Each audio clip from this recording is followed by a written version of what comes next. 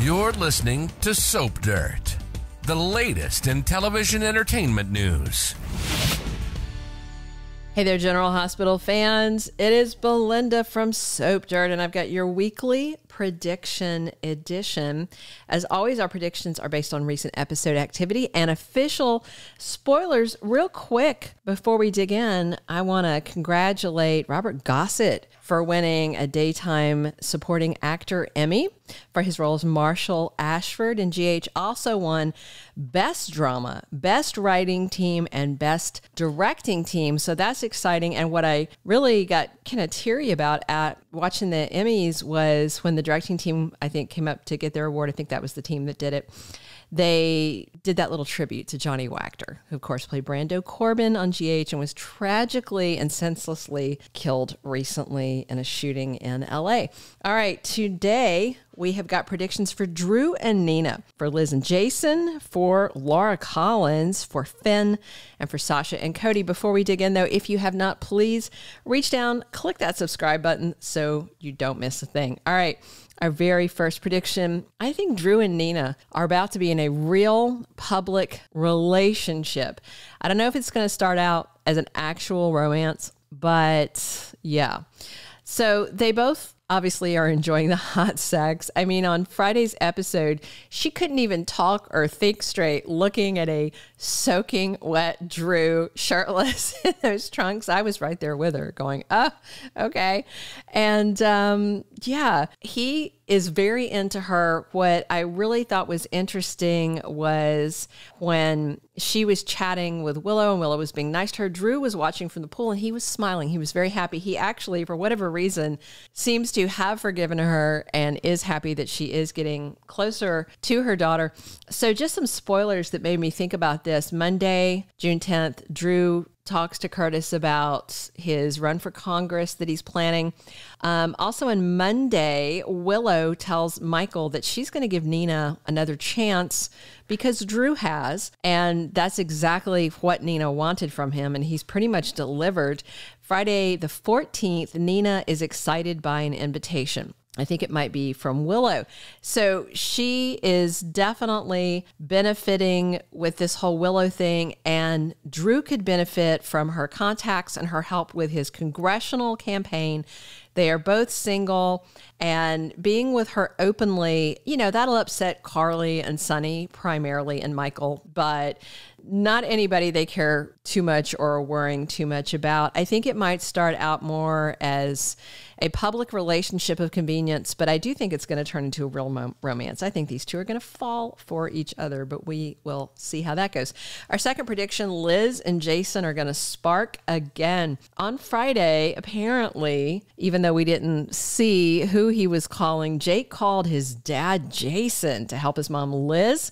She found drunk Finn fondling that rando and she's outraged. Finn tries to stop her from leaving because he wants to explain. Jason shows up and says, Get your hands off her on Monday. So, yeah. And the spoilers on Monday say Liz is shocked. And I don't know if that's shocked by what she sees or maybe shocked because Jason shows up to her, you know, out of nowhere. It seems kind of random. And him playing hero for her is a great start. They're both single. The obstacles are out of the way, which were primarily Sam and the mob and she's about to be single, I think, you know, and they have a kid together and a legion of fans. And boy, does GH need a boost in ratings. So I think it's coming. Our third prediction Laura Collins ousted as mayor of Port Charles. Laura has been advocating for Heather, and that's upsetting a lot of people. Remember, I think it was like maybe two weeks ago, she made front page news about this you know, trying to get Heather's case reviewed. It does not look good for her. Spoilers for Tuesday, June 11th say Alexis gives Laura some advice. I'm guessing it's about Heather's case. And on Wednesday, the 12th, Alexis and Diane discuss Heather's case the same day that Trina confronts Laura, which has to be about Heather because Heather was, you know, coming for her, trying to kill her. And Curtis is very upset about it as well. So is Portia. But despite all this opposition, Laura is not going to stop advocating but her constituents are going to hate it. A lot of people that she cares about are going to hate it. You know, she's defending, not defending, but, you know, looking to help the hook killer that terrorized Port Charles. Kevin, of course, will support Laura, but I just wonder if she's going to, you know, risk her political career if it's going to die on that hill, that hill that is Heather Webber. Our fourth prediction Finn is going to rage at his intervention. Finn is off the deep end, boozing, cheating, and doing that whole thing that addicts do where they rationalize their behavior, basically saying it's okay to drink because I'm a druggie, not an alcoholic. okay. Um, on Monday, the 10th, Liz confronts him and Jason warns him that same day. Tracy offers some advice to BLQ and Chase when they talk to her about trying to basically intervene and stop Finn before he circles the drain and, and hits bottom. Tracy tells them he's not going to like it, which I don't know anybody that likes an intervention. I've not really been to many myself, maybe one. Thursday, the 13th, Finn is determined about something. That same day, Liz and Chase voice their concern. So that definitely sounds like intervention day. He's not going to take this well, he's going to blow up. I hope they're sending him to rehab far away. Portugal would be good.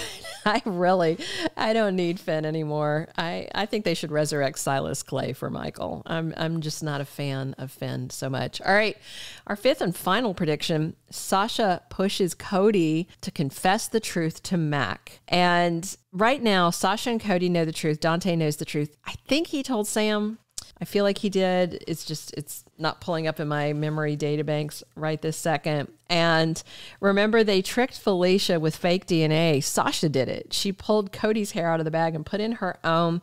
Mac is back soon because he was spotted outside the GH set heading into work on May 10th, and they shoot about four weeks ahead. So he should be around June 10th ish. I don't know. So maybe Mac is back this week. Spoilers for Tuesday, the 11th say Sasha challenges Cody, and I'm sure this is about Mac.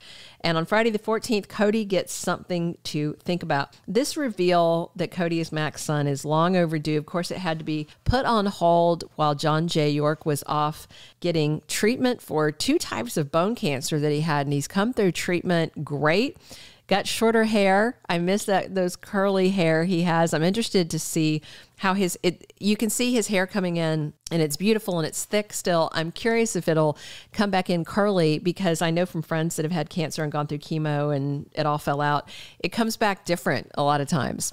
So we'll see if we'll still have that that curly York hair that we've been seeing for decades. Mac doesn't have a biological kid of his own. He cares about Cody. I think he'll be thrilled about this, and I don't think that he will hold the lie against his son, but it definitely needs to come out, and I hope it comes out soon. And there are spoilers indicating that it may. Those are all of our predictions. Thank you so much for tuning in. This is Belinda from Soap Dirt. I'd love it if you'd subscribe and support our channel. Thank you so much. Your comments on where you think these storylines are going, where you hope these storylines are going, and definitely come back. We are here talking General Hospital seven days a week at Soap Dirt on YouTube. Thanks for tuning in. Thank you for being a loyal listener. Follow us wherever you get your podcast because you don't want to miss the next episode. Soap Dirt is on all the major podcast platforms, including Apple Podcast, Spotify, iHeartRadio, and more.